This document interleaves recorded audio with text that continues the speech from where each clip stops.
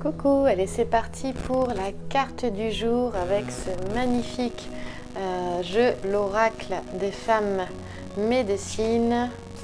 Tu vois, j'adore les peintures, j'adore cet oracle, il me parle énormément en ce moment et je le découvre avec toi, je te partage cette découverte. Allons-y ensemble. Quelle est la carte du jour pour toi aujourd'hui? De quoi elle va te parler? Il y a toujours un rituel, une visualisation à la fin. Donc euh, reste jusqu'au bout. C'est très détendant. Je te la fais sous euh, forme de relaxation guidée, de méditation guidée. Et j'espère que cette carte va aller justement apporter une guérison chez toi. Et bien voilà le chat. Alors ça me parle beaucoup parce que euh, j'ai eu un siamois fut un temps. Et, euh, là, dirait vraiment ainsi à moi. Eh bien, c'est quoi? C'est l'intuition. Eh bien, elle est la messagère de ta destinée. Suis-la. Ah, J'aime beaucoup cette carte. Tu vois, à chaque fois, on découvre une nouvelle carte ensemble. J'adore. Et euh, on va essayer.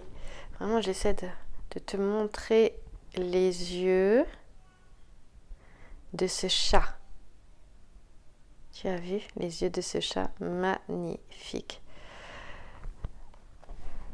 Le peintre, euh, Caroline Manière, euh, à chaque fois me, surprend dans, la profondeur des yeux euh, sur, certaines peintures qu'il y a. C'est incroyable ce qu'elle a pu...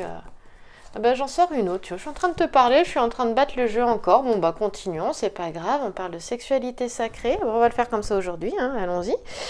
Et on te dit de te reconnecter à la source de ta sexualité divine. Alors tu vois, cette carte, c'est... Voilà, là, on va dire que c'est le message de ton âme. Là, ici, je fais différemment du coup, aujourd'hui, c'était pas prévu. ici, la sexualité sacrée, eh bien, c'est euh, l'aide que tu peux recevoir, hein, l'aide que tu as. Euh, aussi, et la dernière carte, c'est l'issue de la situation. Hein, si tu penses à une situation particulière, si tu as besoin de guérison pour une situation, pour, quelque, pour une particulière ou euh, euh, par rapport à comment tu te sens aujourd'hui, eh bien voilà, on te dit de te relier euh, ici à ta sexualité divine. Ça me parle beaucoup de l'utérus sacré féminin ton âme te dit d'écouter, d'être à l'écoute de toi, de ton intuition, de suivre ton intuition, donc euh, la voix de l'âme, la voix de ton âme. Et ici, la femme médecine du grand mystère, elle est en train de te dévoiler les clés de sagesse de ta destinée. On a deux fois la destinée. Deux fois. On est en train de te dire ici de suivre, d'écouter ton intuition parce que c'est la messagère de ta destinée, c'est la messagère de ton âme. Et on te dit, là, la femme médecine du grand mystère, elle te dévoile les clés de sagesse de ta destinée et ça passe par la sexualité sacrée. Euh, on te dit de te reconnecter à la source de ta sexualité divine. Viens en toi, viens dans ton bas-ventre. Alors on va commencer justement avec le message de ton âme au centre euh, avec la carte numéro 1. Et là, elle, cette carte-là, avec ce chat. Ce chat, c'est le totem de l'Égypte ancienne, le chat. Hein. Euh, le chat, il est indépendant. Euh, tu vas pas du tout, tu pourras pas faire ce que tu veux du chat. et justement, l'oracle des femmes médecines te dit, Catherine Maillard qui l'a créé, te dit qu'il euh, échappe à tout contrôle. Alors en fait, ce chat, qui est relié à l'intuition, le chat, il a, accès à plusieurs mondes. Il a, il a je dirais, les pattes euh, dans le monde spirituel et les pattes dans le monde incarné. Et on te dit que cette intuition, c'est vraiment un précieux don de ta polarité féminine, de l'âme féminine. C'est vraiment euh, aussi les clés de ton monde intérieur. Ta guidance, elle te guide, écoute-la. Et euh, comme disait Jung, Carl Gustav Jung, hein, eh bien, il dit que c'est une fonction psychique complètement irrationnelle, mais tellement juste. Et c'est vraiment une ressource primordiale pour le féminin. Hein. Euh, et d'ailleurs, en étant en connexion avec ton intuition, euh, c'est par là que tu trouves tes solutions, c'est par là que tu vas être inspiré aussi. Donc on te demande euh, d'écouter les messages de l'âme du monde. Elle te parle, elle t'envoie des signes. Et on te dit que de toute façon, ton intuition, c'est vraiment une boussole. Et elle te guide. donc si j'ai eu beaucoup en guidance personnelle euh, des demandes pour, euh, euh, par rapport à la mission d'âme. C'est quelque chose qui revient souvent en ce moment, je trouve. Et justement, il y, avait beaucoup cette notion d'abord de, de, lâcher prise, de surfer sur la vague, d'être dans le flot, d'être à l'écoute intérieurement de regarder, oui, d'être à l'écoute, voilà, de soi, des signes à l'extérieur sans voir forcément des signes partout. On te dit de te faire confiance ici et euh, on te dit que tu es intuitive. L'intuition, c'est le propre du féminin. Donc, euh, voilà, c'est propre à toi, c'est ta véritable nature. Donc, écoute, connecte-toi à ton intuition. Tu peux te poser des questions, tu poses des questions ce qui est intéressant, c'est de poser des questions euh, avec des réponses euh, par oui ou par non. Euh, ton corps va se contracter dans certaines zones du corps quand ce sera non, et tu vas sentir une expansion, une ouverture quand ce sera oui, hein, une décontraction quand ce sera oui, une contraction quand ce sera non. Et euh, tu peux commencer par te poser une question toute bête, par exemple, suis-je une fille? C'est quelque chose, une question dont tu as déjà la réponse, et tu t'entraînes avec ça pour savoir où est-ce que ton corps, voilà, où est-ce que ça te parle, dans quel endroit euh, ça te parle. Hein? au niveau du, du, ventre, au niveau du plexus solaire, au niveau de la poitrine, de la tête, euh, des oreilles, où tu veux. Et là, à travers ton corps, et justement, l'âme passe euh, par le système énergétique du corps, donc tu vas pouvoir sentir.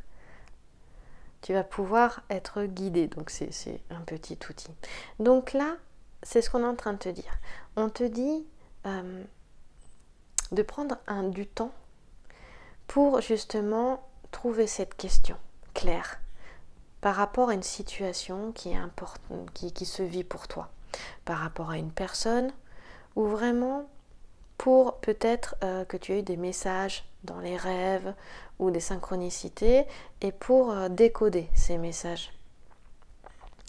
On va te demander de changer ta perception euh, du monde, de poser un regard neuf sur tout ce qui t'entoure, sur ce que tu vis. Comme si, comme un enfant qui commence à marcher et qui découvre son environnement, qui part à la découverte, un regard tout neuf, tout nouveau. Et à ce moment-là, euh, ouvre tous tes sens. Observe, prends, euh, moi je, parle souvent de la posture du hibou, euh, prends cette conscience témoin, cette, cette, posture d'observatrice ou d'observateur et, et, regarde, et regarde ce qui vient avec toi, à toi et laisse venir ce qui vient. Là, écoute, ressens, vois ce qui apparaît, un objet, une personne, un animal totem qui vient t'informer. Ouvre tous tes sens encore une fois. Regarde derrière les apparences et reste à l'écoute des réponses qui te sont données. Là maintenant, demain, après-demain, dans les jours, les semaines qui viennent. Voilà. Et regarde par quoi tu peux être attiré, justement. Un tableau, une lumière, Regarde un coin de la pièce ou du lieu dans lequel tu te trouves et essaie de relier les choses, essaie de faire des liens. Fais des liens d'ailleurs, ne fais pas qu'essayer. L'intuition, elle passe par différents canaux. Hein. La clairaudience, l'ouïe, la clairsentience, les ressentis physiques, corporels ou en général, et euh, la clairvoyance, euh, les images, des flashs qui passent et bien d'autres, il n'y a pas que ça. Voilà, donc euh, on te dit, voilà, que ce soit euh, par exemple euh, la clair-sentience, des picotements, des fourmillements, des vibrations, des contractions dans les différentes zones du corps dont je t'ai parlé tout à l'heure, bas ventre, plexus, cœur, gorge. regarde ce qui vient, quels sont les messages, Quelles sont les images qui passent Ça, c'est ta petite voix intérieure. Voilà, va à sa découverte. Cultive-la. Elle va se développer parce que tu vas lui porter de l'attention. et fais-toi confiance. Et euh, pour toutes les personnes qui auraient perdu euh, le sens de leur vie, on te dit que c'est la meilleure piste pour, que tu puisses retrouver le sens à ta vie et, redonner, surtout redonner du sens à ta vie. Parce que ce sens, tu peux te le donner. Ça, c'est vraiment important. Euh, et puis, on a vu qu'on avait, je peux aller un petit peu plus loin, il est question d'activer euh, un don que tu as avec ton bas-ventre, avec, euh, oui, le sexe féminin. Hein. Et c'est euh, vraiment la source de vie et c'est le foyer de l'énergie cosmique, on te dit. Donc on te dit de t'asseoir dans une position confortable, de fermer les yeux et de porter attention à ta respiration, à ton souffle. Et à présent, eh bien, Imagine que tu respires dans ton yoni, au niveau de ton sexe. Et si ça te gêne, viens respirer trois doigts sous ton nombril. Et ressens justement ce qui se passe. Quand tu respires, il y a une ouverture, il y a une expansion. Et quand tu souffles, il peut y avoir une petite contraction. Donc sois en fait consciente de cette zone Là, c'est pas ressentir une excitation qui peut tout à fait être là hein, et monter, bien évidemment, parce que ça va être stimulé par l'énergie, c'est-à-dire par ta respiration, par le prana. Mais de te connecter par le souffle à ton sexe. Et si encore une fois ça te gêne, viens trois doigts sous ton nombril dans ton hara. Chakra sacré. Voilà. Ici, il ne s'agit pas de forcer, il s'agit de donner vie à, parce que beaucoup de femmes en sont complètement Quand je travaille dans mes cours de yoga euh, sur le périnée, avec le périnée, euh, grâce au souffle, eh bien, euh, je peux voir cet inconfort et à quel point beaucoup de femmes en sont coupées par rapport à justement bah, toute la programmation de la société, au traitement des femmes depuis très très longtemps. Et tout ça, ça reste dans les mémoires et dans les lignées de femmes. Eh bien, la femme médecine du grand mystère, elle vient là pour apporter une guérison. Cette femme-là, la femme médecine du grand mystère, c'est quand même... voilà, c'est quand même pas rien. Je trouve ça très intéressant. Euh, c'est une des premières femmes médecines à se, présenter euh, justement euh, dans l'oracle des femmes médecines. C'est la grand-mère, je parlais de lignée de femmes, en fait c'est la grand-mère, elle veille sur toi. Tes ancêtres veillent sur toi. Hein. Elle te dit de te fier à ces messages, on parlait d'écouter ton intuition, parce qu'elle est là. Elle est là et elle te guide avec amour sur ton chemin de vie, sur ton chemin d'âme et elle éclaire ta destinée. Tu peux faire appel à elle pour mieux comprendre tes expériences de vie et les accueillir à travers tes ancêtres. Tu auras, en écoutant tes ancêtres, tu auras justement à travers elle les messages et leur protection. Et Cartol dit La vie nous donne toujours l'expérience la plus aidante pour l'évolution de notre conscience.